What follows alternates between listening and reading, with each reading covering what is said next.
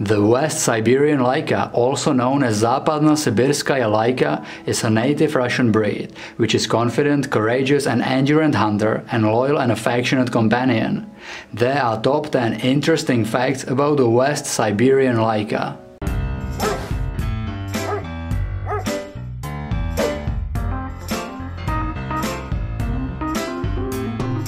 I would love to thank all these Instagram profiles for letting me use their photos in this video.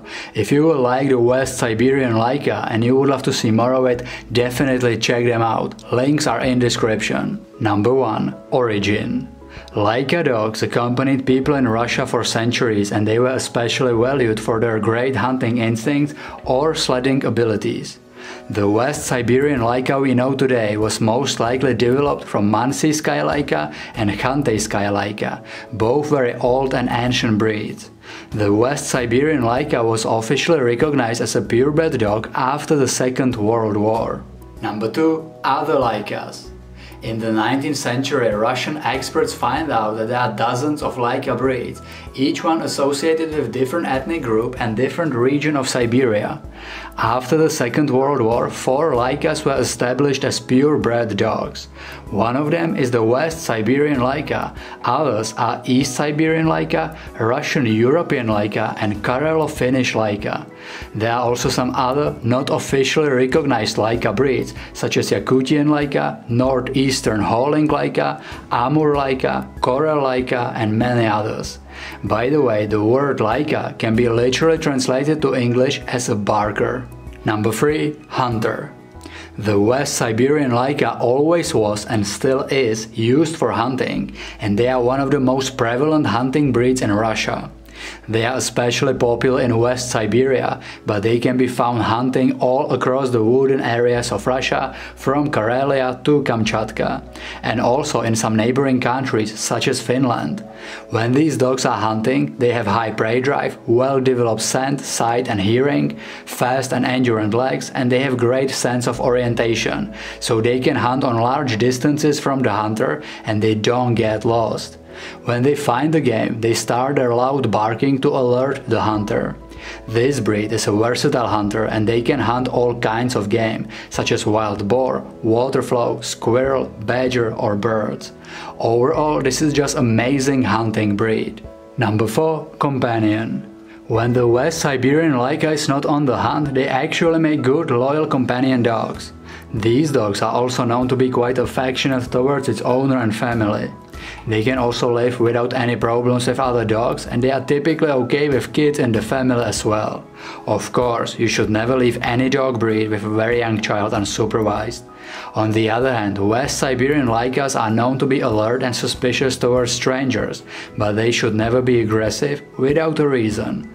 Just like with all dogs, the temperament is vastly influenced by early training and socialization. Number 5. Coat the Siberia is a place with very low temperatures and the temperatures can be as low as minus 40 degrees of Celsius. So it shouldn't be surprising that the West Siberian Laika has a very very dense double coat with even longer and stiffer hair around the head, on the neck and shoulders. This dense coat protects the dog from extremely cold weather. You can find this breed in wolf grey, pale red and white color. Number 6. Size the West Siberian Laika is a very strong and athletic, medium to large sized dog breed with average height between 20 to 24 inches, which is 50 to 61 centimeters, and weight is typically between 40 to 55 pounds, which is 18 to 25 kilograms. The females are typically a little bit smaller than males. Number 7. Appearance the West Siberian Laika belongs to the group of northern primitive breeds, which remains the similar appearance to their main ancestor, the wolf.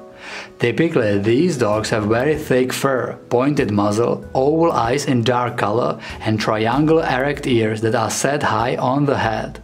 The tail is typically carried high, curving over the back.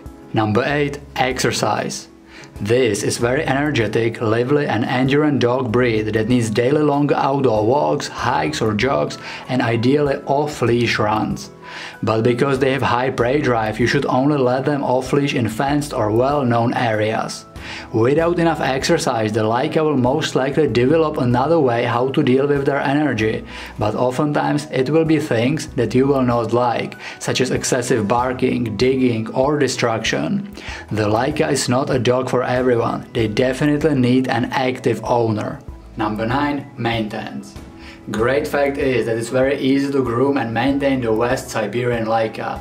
Even without any grooming, they will keep the coat in good condition.